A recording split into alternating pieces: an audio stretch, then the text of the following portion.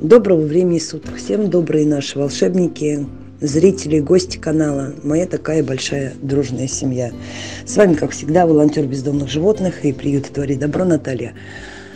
Сегодня моя просьба к вам помочь нам собрать финансы на питание. Увы, и, к сожалению, к сожалению, на карте денег нет от слова совсем.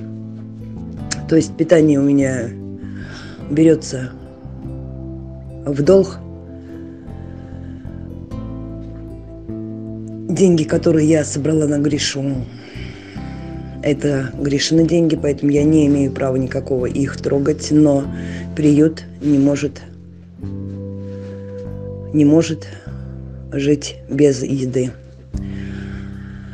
Буквально вчера, поехав днем на, э, по магазинам, Открыв свою входную дверь, я увидела на лестничной площадке вот это вот чудо-волчонка.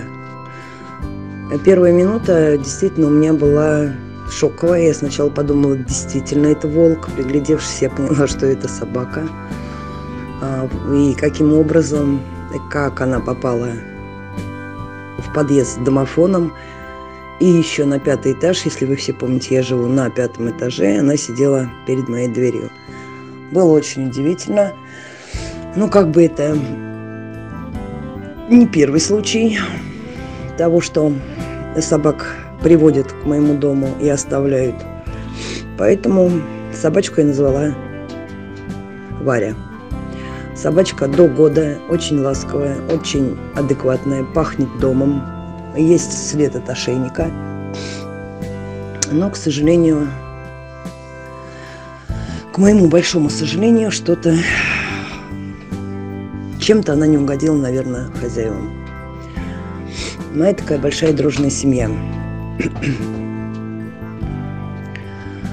Как ранее я говорила, питание, питание нам обходится в сутки это 10-11 тысяч. Я очень прошу каждого открыть свои сердечки и помочь нам продержаться эту неделю. В предыдущем ролике я говорила, что теперь я буду раз в неделю просить вас о помощи на питание, так как действительно очень-очень тяжело.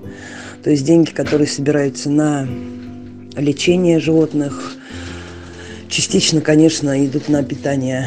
Это очень сложно, но благодаря вам все-таки мы живем, справляемся, и я не устаю благодарить Господа Бога за то, что вы у меня есть, за то, что вы открываете свои души, свои сердца и помогаете нам и нашему приюту.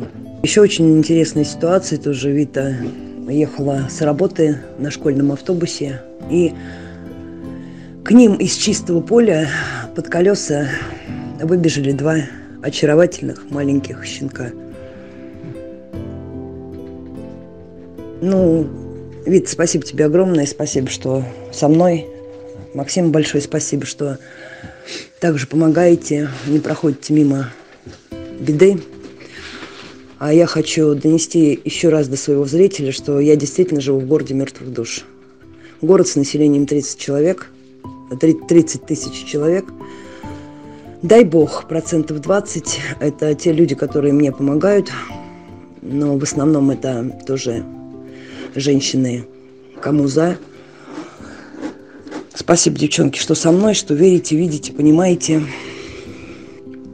И, а, к сожалению, к сожалению, как собак травили в городе с апреля месяца, так собаки уходят на радугу. Очень много сейчас выброшенных собак. Вот прям ноябрь был, там выкинули щеночков, там выкинули. Недавно в черте города появилась собака метис с лабрадором, очень добрый и отзывчивый пес – вот. И ничем хорошим, к сожалению, жизнь на улице в этом городе для них не заканчивается. То есть я еще раз повторяю, что собак в этом городе травят. Вытравили с апреля практически весь город. Недавно приехав к своим бездомышам, которых я кормлю уже 4 года, к сожалению, к сожалению, да, добрались и туда.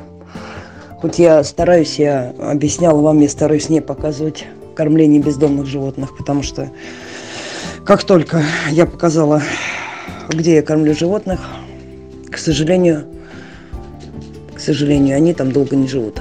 Поэтому и недель три назад, приехав к своим ребятам, а там у меня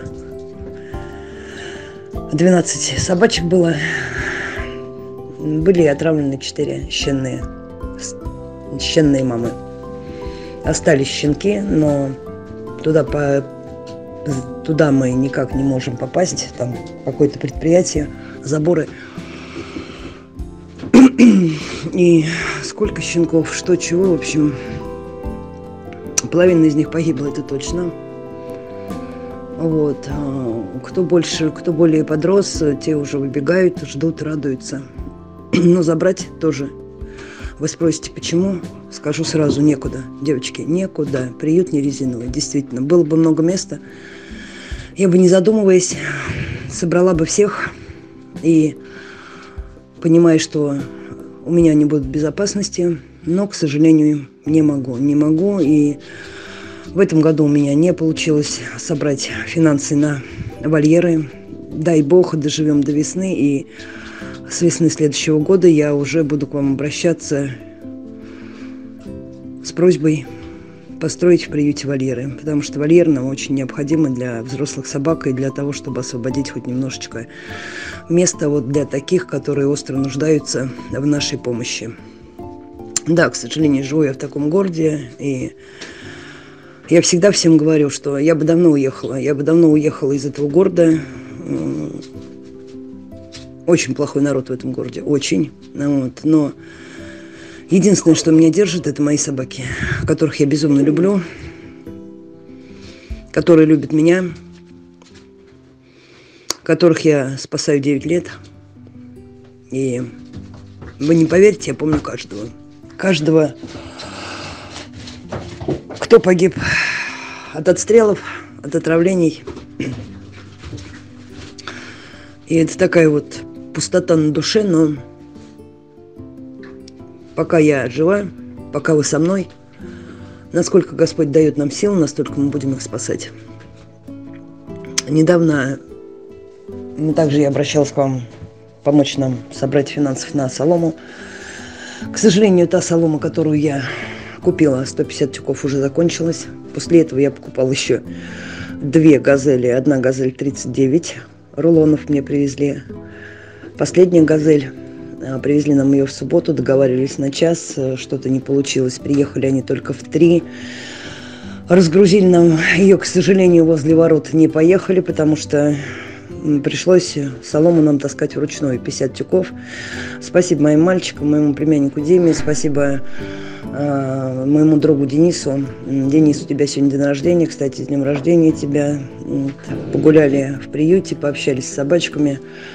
Все приехали очень довольные. Дима даже мне скинул голосовой. Он говорит, «Э, Наташа, буду стараться приезжать почаще. Очень понравилось. Общение с собаками – это такой какой-то новый виток воздуха, новый позитив, поэтому всегда очень рады. Приезжайте, общайтесь. Приезжайте, общайтесь, гуляйте. Вот, помогайте. Спасибо вам за добро и за то, что вы со мной. Моя такая большая дружная семья. Объявляется неделя стольника. Я прошу вас всех, каждого, откликнуться и собрать денежек на питание. А вчера уже, вчера уже у меня висит долг за питание 9, 9326. То есть денег, денег нет совсем. Каждые ваши 10, 20, 30 рублей пойдут на питание собачкам. С большим уважением к вам, волонтер бездомных животных и приюта «Твори добро» Наталья.